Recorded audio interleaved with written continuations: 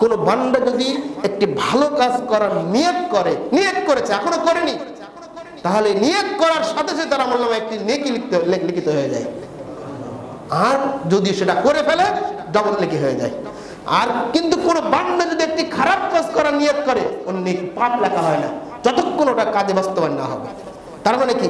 ফেরেস্তারা আপনার চিন্তা, চেতনা সম্পর্কেও অবগত, আল্লাহর অনুমতি ক্রমে। ফেরেস্তারা আপনার চিন্তা, চেতনা সম্পর্কেও অবগত আল্লাহর অনুমতি ক্রমে